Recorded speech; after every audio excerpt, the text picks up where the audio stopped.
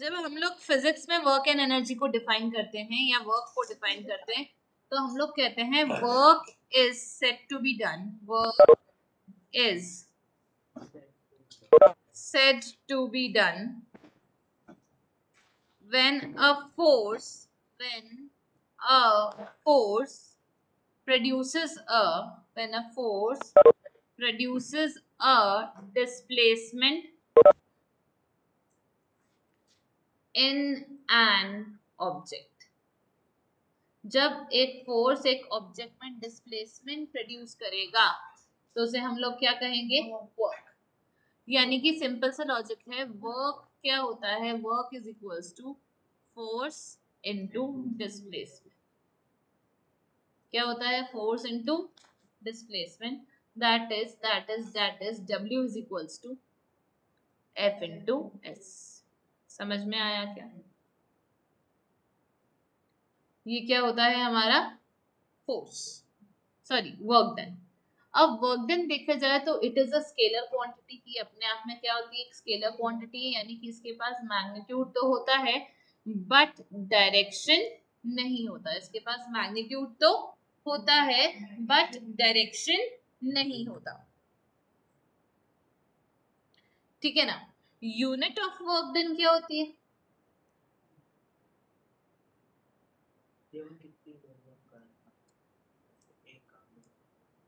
ऐसा unit of work done होती है जूल। क्या होती है? ऐसा यूनिट ऑफ़ वर्क डन क्या होती है? Joule. J O U L E और हमेशा याद रखना? One joule is equals to, one joule is equals to one newton metre. ये कहाँ से आया? वर्क डन की यूनिट क्या होती है? जूल। फोर्स की यूनिट क्या होती है? न्यूटन। और डिस्टेंस या डिस्प्लेसमेंट की यूनिट क्या होती है? मीटर। तो one joule is equals to one newton metre. कभी कभी एग्ज़ाम में क्वेश्चन आता है डिफाइन वन जूल एग्ज़ाम में क्या क्वेश्चन आता है? Define one joule. नहीं न्यूटन मीटर। पर भी नहीं न्यूटन मीटर। ठीक है ना? जब हम लोग वन जूल को डिफाइन करते हैं हम लोग बोलते हैं one joule is the work done one joule is the work done when a force of when a force of 1 newton displaces an object by 1 meter displaces an object by 1 meter जब एक Newton का force एक object को कितने से हिला देगा एक मीटर से हिला देगा is it clear capital. Capital. यहाँ पर जे क्या आएगा? कैपिटल आएगा। कैपिटल जे मतलब जूल इतना क्लियर है? लेवल की कहानी। देखो बहुत सारे स्कूल्स में बहुत सारे स्कूल्स में हम लोगों को बोलेंगे कि जो वर्क डन होता है जो डब्ल्यू होता है वो होता है एफ़ एस कॉस थीटा नई कहानी। F S cos theta cos theta एक बेसिकली मैथमेटिकल ऑपरेशन होता है या फिर वैसे बोले मैथमेटिकल रेशियो होता है। ठीक है ना? तुमने अपने सीनियर्स को बोलते हुए सुना होगा ट्रिग्नोमेट्री ट्रिग्नोमेट्री ट्रिग्नोमेट्री तो बेसिकली एक ट्रिग्नोमेट्री का क्या होता है? रेशियो होता है। ठीक है ना? अब बेसिकली ये थीटा क्या होता है? Theta is nothing but an angle theta अपने आप में क्या होता है? एक एंगल थीटा अपने आप में क्या होता है? एक एंगल होता है। ठीक है ना? इसको कैसे प्रोनाउंस करते हैं? थीटा। कैसे प्रोनाउंस करते हैं? थीटा, ये ग्रीक लेटर आई बात समझ में ठीक है? तो ये जो थीटा होता है, इसका मतलब होता है एंगल इसका मतलब ये हुआ कि हमारी जो एंजल है, ये एक छोटी सी इसके पास कार है। ये ठीक है ना? और ये इसको ऐसे ले लेके भाग रही है। तो एंजल जो फोर्स लगा रही है वो किस डायरेक्शन में लग रहा है? इस डायरेक्शन में। लेकिन कार कैसे चल रही है? इस डायरेक्शन में। यानी कि एंजल का जो फोर्स है और जहाँ उसकी कार डिस्प्लेस हो रही है, इन दोनों के बीच में एक एंगल क्रिएट हो रहा है, उस एंगल को हम लोग क्या बोलेंगे? थीटा अब सुनो, अगर अगर एंजल कार को बैठे बैठे चला रही है मतलब फोर्स भी इधर से लगा रही है और डिस्प्लेसमेंट भी यही हो रहा है होता है ऐसा? बैठ के घर में कार को खींच रहे ज़मीन पे। तो ऐसे में थीटा कितना हो जाएगा? ज़ीरो और कॉस ज़ीरो कितना होता है? वन कॉस ज़ीरो क्या होता है? वन अगर थीटा थर्टी डिग्री है अगर थीटा थर्टी डिग्री है तो कॉस थर्टी कितना होता है? रूट थ्री अपॉन में टू कितना होता है? रूट थ्री अपॉन में टू ठीक है ना? अगर theta forty five degree cos forty five would be one upon में रूट ठीक है?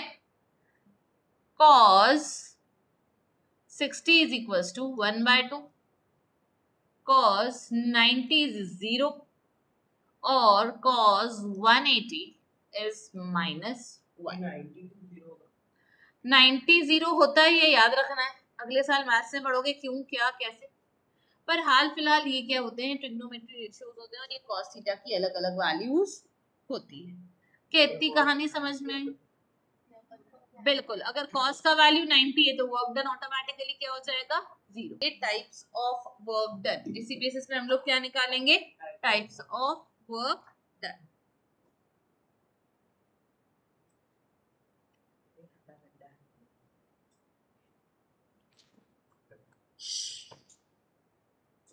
ठीक है तो there are three types of work done कितने टाइप्स ऑफ़ वर्क डन होते हैं?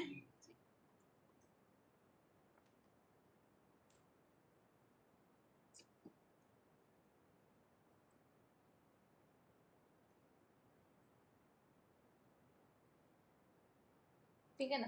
तो जब हम लोग टाइप्स ऑफ़ वर्क डन की बात करते हैं, जब हम लोग इसकी बात करते हैं? टाइप्स ऑफ़ वर्क डन की बात करते हैं तो सबसे पहला जो टाइप ऑफ़ वर्क डन होता है, वो होता है पॉजिटिव वर्क डन क्या होता है? Positive work done positive work done कब होता है? When force and displacement are in same direction कब होता है? When force and displacement are in same direction are in same direction देख सेम डायरेक्शन में कब होंगे? जब ऐसा हो सकता है। या फिर जब वो ऐसा हो सकता है। या फिर जब वो ऐसा नहीं हो सकता। ऐसे हो सकता है। या फिर जब वो ऐसे हो सकता है। आई बात समझ में? तब थीटा की वैल्यू कहाँ से कहाँ तक वेरी करेगी? ज़ीरो से लेके ज़ीरो से लेके लेस देन नाइनटी तक। ज़ीरो से लेके लेस देन नाइनटी तक। ठीक है, तब वर्क डन क्या रहेगा? पॉजिटिव रहेगा। सेकेंड केस होता है नेगेटिव वर्क डन सेकेंड क्या होता है बेटा? Negative work done negative work done कब होता है? When force and displacement are in opposite direction when force and displacement are in opposite direction. ऐसे में क्या होगा? अगर फोर्स यहाँ लग रहा है तो डिस्प्लेसमेंट कहाँ होगा? यहाँ। यहाँ पे फोर्स यहाँ लग रहा है तो डिस्प्लेसमेंट कहाँ होगा? यहाँ। दोनों केस में ध्यान देना कि यहाँ पर जो एंगल बन रहा है, देखो कितना बन रहा है। 180 डिग्री तो इसका वैल्यू कितना हो जाएगा? माइनस वन और इसकी वर्क क्या आएगा? नेगेटिव आएगा। ठीक है ना? वन एट जब फ्रिक्शनल फोर्स होता है सपोज़ क्या है? मैं यहाँ चल रही हूँ। तो मेरा डिस्प्लेसमेंट तो यहाँ हो रहा है। लेकिन फ्रिक्शन फोर्स तो कहाँ लग रहा है? पीछे। तो क्योंकि फ्रिक्शनल फोर्स पीछे लग रहा है, क्योंकि फ्रिक्शनल फोर्स पीछे लग रहा है। ये कौन सा फोर्स है बेटा? फ्रिक्शनल तो work done by frictional force यहाँ पे क्या होगा? नेगेटिव यहाँ पर इस केस में work done by frictional force would be क्या? Negative would be negative clear है क्या? बोलो, कोई परेशानी? आगे जाए